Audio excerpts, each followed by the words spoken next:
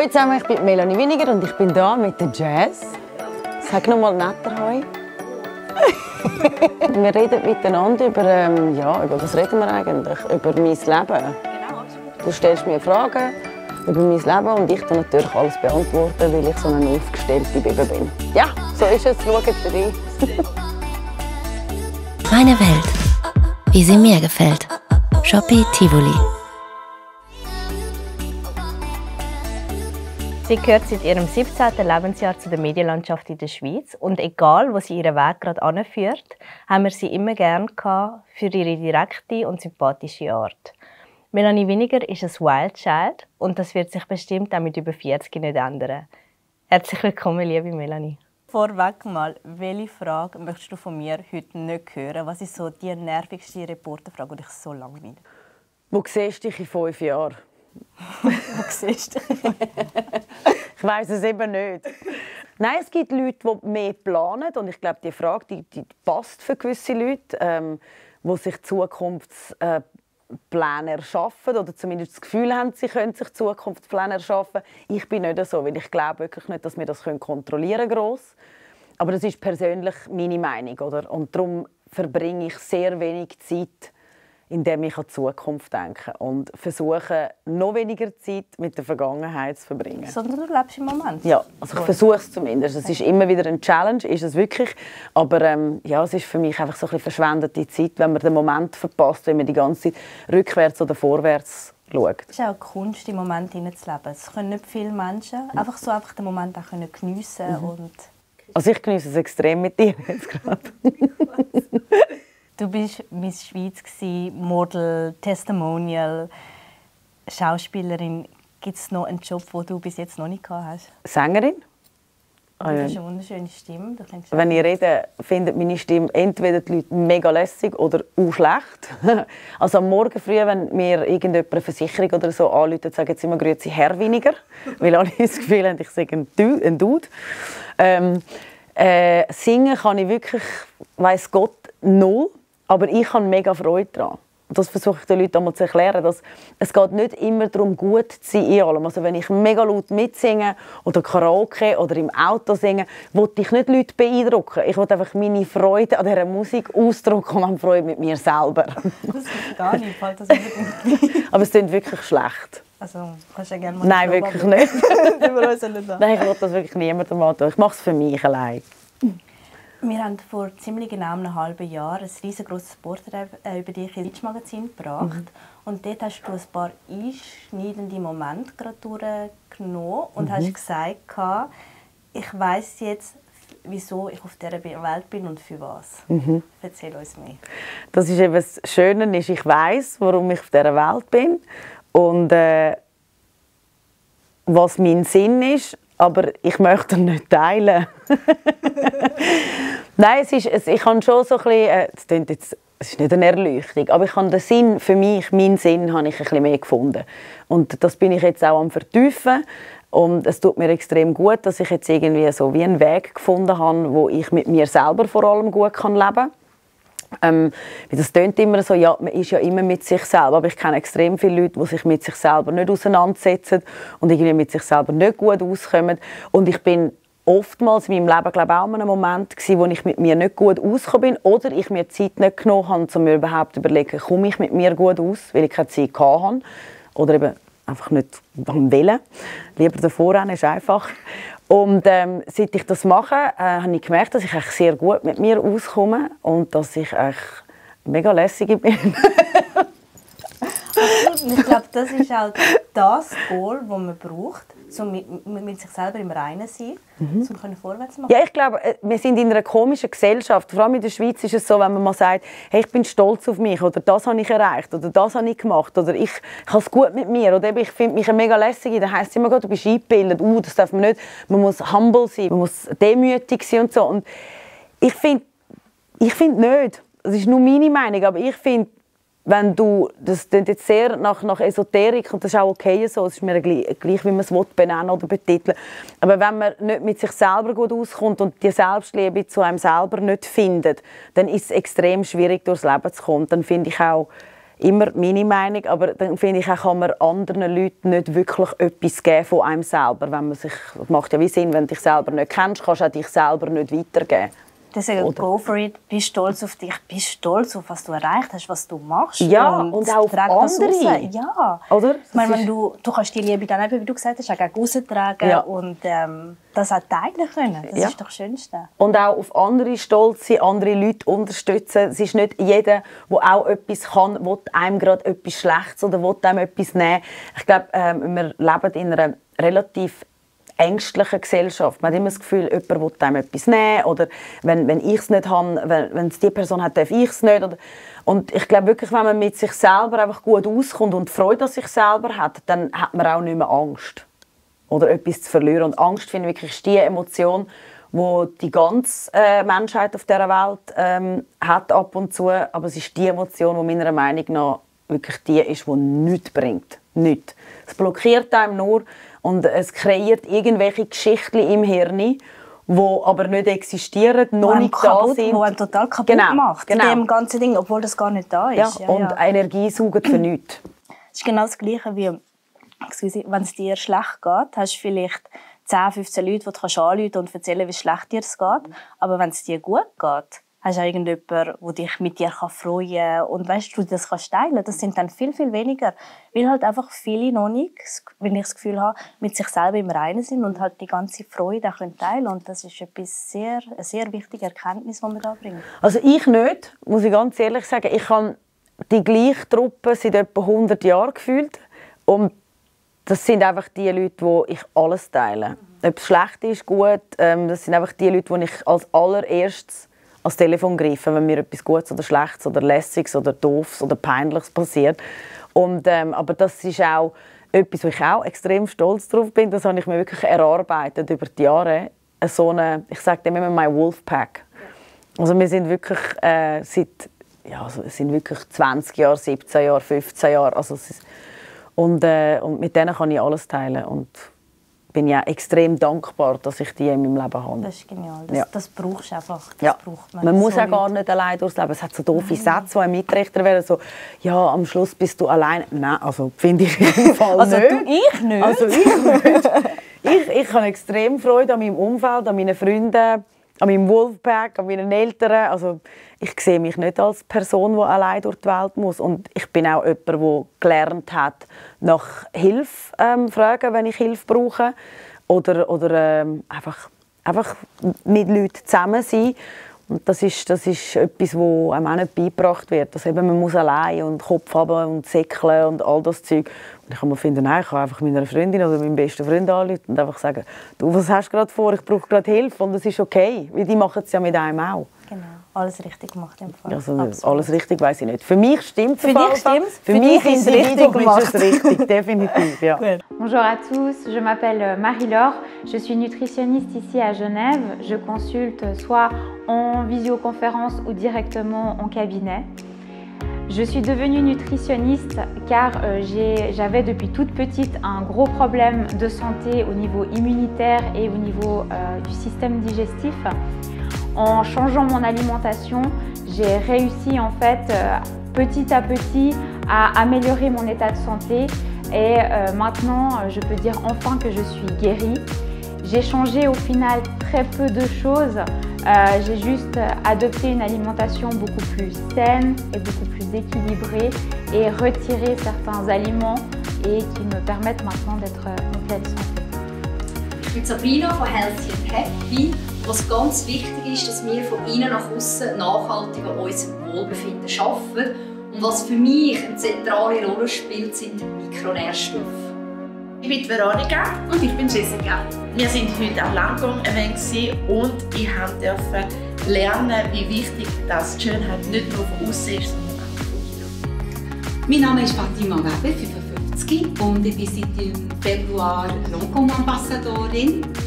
Äh, Schönheit bedeutet für mich vor allem ein Strahlen von innen und natürlich auch einen gesunden Lifestyle. Wenn ich einen Tipp habe, mitgeben ist es vor allem ein bisschen nicht übertrieben und dann kommt es gut. Marie-Laure, c'est vrai que sa présentation était euh, particulièrement passionnante et instructive. Hein. Ça a permis de mettre en évidence à quel point il était euh, indispensable euh, d'adapter son hygiène de vie, d'adapter aussi son alimentation, de manière à prendre soin de son microbiote, hein, qui est déterminant pour la santé de notre système digestif. Et ce microbiote, eh bien aujourd'hui, ça nous a permis de mettre en lumière qu'il allait vraiment avoir une incidence sur la beauté et sur la santé de notre peau. Nous aussi, chez Lancôme, nous nous sommes intéressés à la science du microbiome. Ce microbiome, c'est un écosystème bienfaisant, vivant, qui est présent sur toute la surface de notre peau. Et aujourd'hui, nos chercheurs l'ont mis en évidence. Notre microbiome est indispensable pour protéger notre peau de toutes les agressions extérieures.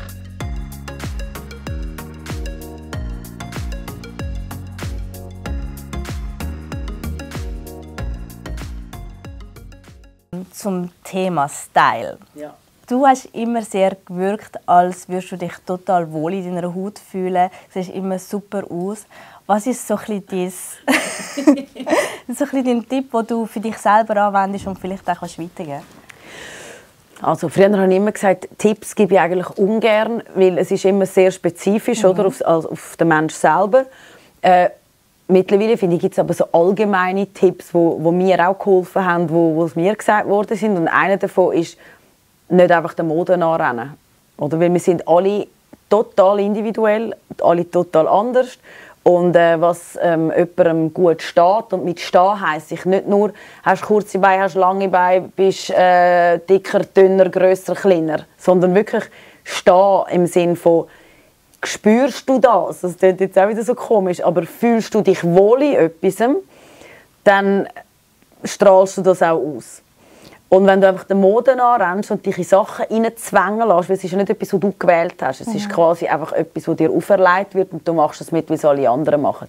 Und ich glaube, wenn man sehr jung ist, macht man das, das ist auch legitim, finde ich völlig okay, aber es kommt dann eine Zeit, wo man wie den eigenen Stil entwickelt. Und ich habe das einfach, glaube relativ früh schon angefangen zu machen durch die Musik, die ich höre, ist einfach das mit... Was man auf dem T-Shirt jetzt sieht. Das ist jetzt gerade Punk, aber Punk und Rock, das darfst du zwar nicht laut sagen. es ist auch sehr viel Schlagzeug dabei, sagen wir es mal so. Äh, nein, ich habe einfach relativ schnell so ein bisschen meinen Stil gefunden, im Sinne von, ich habe gewusst, ich muss mich wohlfühlen. Mhm. Weil dann fühle ich mich auch sexy, ich fühle mich schön, ich fühle mich wohl, ich fühle mich stark. Und wenn man mich in etwas reinzwängt, wo... Ähm, wo modisch ist und angeblich gut aussieht, aber ich fühle mich unwohl, dann bin dann ich... strahlst du das auch dann strahle ich, Ja, dann fühle ich mich nicht wohl und gehe heim. Oder also, ja. Sich nicht immer in, äh, in so Schubladen hineindrücken lassen. Ob es Mode ist oder Gesellschaft oder ähm, Erziehung oder was auch immer. Einfach mehr auf die Intuition hören, auch beim Anlegen und beim Stil und weniger auf das, was einem gesagt wird. Weil selber weiß man es immer am besten. Das ist so. Mhm. Auch wenn man etwas denkt, gell, und dann kommt jemand und sagt etwas und dann denkst du so, eigentlich, nein, habe ich das für mich schon entschieden und du musst mir gar nicht reinreden. Aber amix gibt es eben gleich, dass man sich beeinflussen lässt. Es kommt darauf an, in welchem Stadium vom Leben ist, in welchem Alter ist man. Ja. Und das ist, ist, mir auch schon passiert, finde ich auch irgendwo durch normal. Aber am Schluss glaube ich, das ist etwas, was ich extrem lässig finde in meinem Alter jetzt, dass ich einfach weiß, das, was bei mir innen redet, also meine Intuition ist die, die für mich einfach recht hat. Und es muss den anderen nicht passen. Ja. Das ist auch okay. Du musst nicht mit allen gut auskommen, es muss es nicht jeder verstehen. Das ist alles... Das ist kein Nutella-Glas. Nein, wirklich nicht. Okay. Das sowieso nicht. Was ist so dein Go-to-Outfit, wenn du weißt, jetzt hast du einen wichtigen Termin vor dir oder wo du weißt, in dem fühle ich mich wohl, das bin ich. Schwarze Jeans, weißes T-Shirt, Cowboy-Stiefel und Lederjacke. Cowboy-Hut noch dazu? Nein. cool. Nein, dort ziehe ich erst wieder an, wenn alle anderen aufgehört haben. Gibt es äh, fashion fauxpas wo du dich noch magst erinnern wo du auch durchgemacht hast, wo du jetzt findest, hey, wie habe ich das können anlegen Nein, es hat einmal eins gegeben, das finde ich aber mittlerweile extrem lustig. Ich habe ein Kleid angehabt in einer Moderation auf der Bühne, eine relativ grosse Moderation. Ich glaube, Swiss Music, ja, Swiss Music Awards. Gewesen. Dort habe ich aufgehört zu rauchen und habe irgendwie 5, 6 Kilo zugenommen. Das war so ein Seiten, Satin, blablabla, irgendetwas Kleid. Gewesen. Und mit diesen Skiwerfern, die drauf äh, macht es die einfach grösser. Mhm. Aber ich hatte nicht so ein Problem mit dem, gehabt, weil ich bin, was bin ich gewesen? Ich bin 1,74 Meter, bin dort, glaube 63 Kilo gewesen. Und dann hat es geheißen, ich ausgesehen wie eine Mitwurst. Als ich eher gefunden habe, medial, habe ich das eher kritisch gefunden, was geben dir für ein Beispiel den jungen Frauen. Weil Absolut. wenn man mit 63 Kilo eine Mitwurst ist, dann ist die Message, die man da schickt, ähm, Autsch. ja, wirklich nur ouch. Aber mich hat es nicht groß gestört. Also ich, bin schon, ich bin schon immer das Gummiband. Gewesen. Dann bin ich wieder so, dann bin ich wieder so, dann bin ich wieder so. Bin ich wieder. Und äh, das ist okay. Das ist auch Teil des Körpergefühls und wie man sich gerade fühlt und in welcher Phase das man gerade ist. Das ist so, manchmal geht es besser, wenn man ein paar Kilo mehr hat. Ja. Und man ist glücklicher. Ja, oder man denkt weniger daran, man hat keine Lust auf Sport. Und ich bin eher so ein das Up-and-Down-Mensch. ist- Also, Das passiert einfach. Ja. Das ist der Zyklus, den wir haben. Ja. Und das ist auch völlig okay so. und ich kann, wenn ich Sport mache, habe ich eh wirklich keine Grauzone. Entweder ich gehe fünfmal in der Woche oder ich gehe gar nicht. dann kann ich wieder von vorne anfangen. Dann habe ich wieder eine Challenge.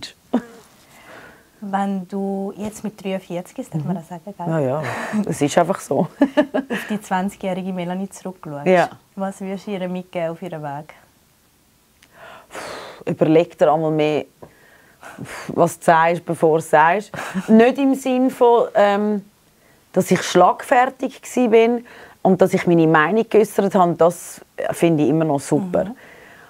Aber teilweise habe ich glaube so ein den Drang gehabt, zu beweisen, dass ich nicht dumm bin und dass ich eben nicht auf den Kopf gefallen bin und dass ich nicht nur ähm, eine Ex-Miss Schweiz bin. Und das sind halt auch wieder so Schubladen. Aber ich habe mich glaube zu lange mit diesen Schubladen befasst. Oder? Also, ich wollte wie beweisen, dass ich es nicht bin. Und das ist wie schade, ich habe Zeit verpasst. Ich wollte auch nicht wollen rüberkommen wie das Tussi. Darum habe ich mich immer wie einen Typ angelegt. Und jetzt finde ich immer so, hey, nein, ich habe wie meine Weiblichkeit ein bisschen verpennt gehabt, eine Weile lang. Und habe erst irgendwie, glaube so vor fünf Jahren, habe ich angefangen, ab und zu so Kleidchen anzulegen und so. Aber nicht, weil ich es nicht gerne angelegt hätte, sondern nicht... einfach absichtlich. Genau. So ein bisschen, weil du nicht in das Schema hast, reinpassen Genau, und das finde ich ein bisschen schade. Ich würde dann einfach nochmal sagen, ähm, los mehr auf deine Intuition und mach das, was dir zu gut kommt und das, was du wirklich spürst. Und äh, die anderen denken sowieso. Die dürfen das denken, weil es ist ja, jeder Mensch hat seine Wahrnehmung und jeder Mensch hat vor allem das Recht, seine Wahrnehmung zu haben. Das heißt aber nicht, dass es etwas mit dir zu tun hat. Also wenn du mich jetzt zum Beispiel eine blöde Kuh findest, heisst nicht, dass ich eine bin. Aber es ist meine Verantwortung, wie fest ich das mich tangieren lasse. Oder? Und wenn man das irgendwann dann mal ein bisschen im Griff hat, dann ist es okay. So wie gar nie ein Lebensweg, der nicht für dich bestimmt ist. Weil wenn ich das so finde, dann ist das noch lange nicht. Genau.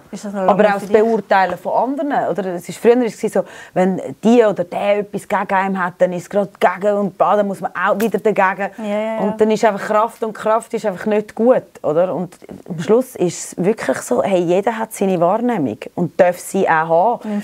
Und wenn du? Ruhe willst, dann musst du können andere Wahrnehmung auch akzeptieren. Weil nicht alle müssen deine Wahrnehmung akzeptieren, aber du nicht.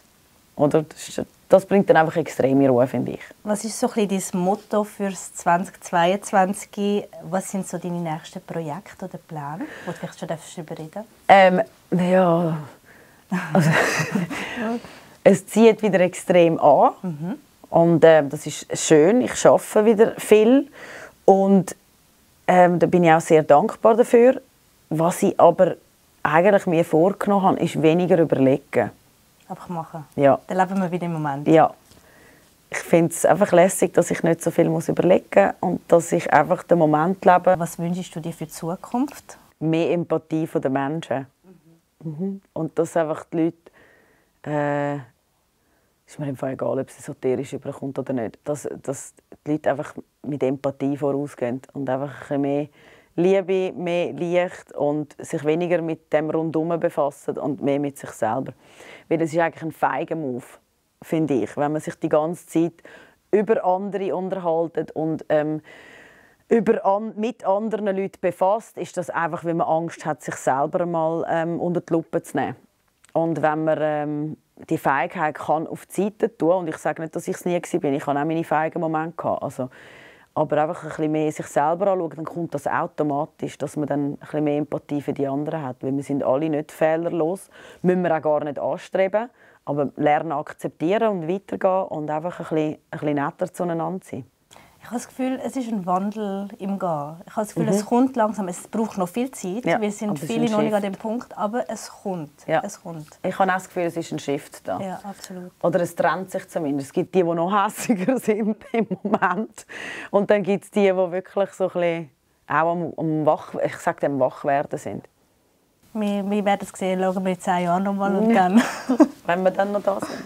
wenn wir noch da Und sind. den Tag geniessen. Das stimmt. Wo ist dein persönlicher Glücksort? Ich glaube Los Angeles. Willst du wieder zurückgehen? Ja, also ich will sofort. Also es, ist, äh, es ist komisch. Es gibt ganz viele Leute, die LA zu gross finden und es ist eine Großstadt und ah, so viele Amerikaner und ja, das ist normal in Amerika. Aber für mich gibt es alles dort. Du hast das Meer, du hast Berge, du hast die Wüste und wenn ich dort bin, bin ich meistens sowieso, meine, eine von meiner allerbesten Freundinnen hat das Haus in der Wüste, bin ich meistens eh dort draussen, dort ist gar nichts. Ähm, und es hat einfach eine Kraft. Und wenn ich dort bin, habe ich das Gefühl, ich gehöre dort hin. Ich kann es nur so erklären. Und ich finde eben Amis eigentlich recht lässig. Die sind cool. Ja, also es gibt auch dort, äh, wie es Schweizer gibt, die mit einem nicht, man muss Es nicht mit allen klarkommen. Ja, ja, ja, logisch. Aber ähm, ich habe das, was halt ähm, oft gesagt wird, so das Oberflächliche, finde ich halt einfach neugierig bei den Amerikanern. Und das heißt nicht, dass sie morgen deine besten Freunde sein müssen, aber die Schweizer sind es auch nicht. Und das ist so ein das, was man als Vorwurf immer hört. So, ja, dann reden wir einen Abend lang und, und ja, und wir gehen in die Ferien zusammen und ich komme besuchen in der Schweiz und dann hört man nie mehr etwas. Und ich so, ja, okay, ist einfach eine andere Art. Hier in der Schweiz geht es zehn Jahre, bis man mal einen Freund kennengelernt hat. Also, der andere Man sagt, er ist mehr so im Moment wieder. Ja, ja. Und deswegen, das, das Ja. passt dann auch wieder. und ich glaube auch, dass die das so empfinden in dem Moment und wirklich die, die zweistündige Diskussion auch geniessen. Aber man muss ja nicht gerade dann äh, irgendwie jemanden heiraten. Absolut. Das sowieso nicht. sind wir wieder mit dem. Hey. Melanie, danke dir viel, viel mal, dass du da gewesen bist. Es ist Schon mega fertig? spannend, schon fertig.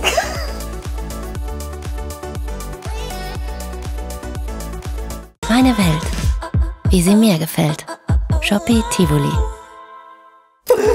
Also wir können gerne noch weiter Ja, können wir. Einfach mal let it roll.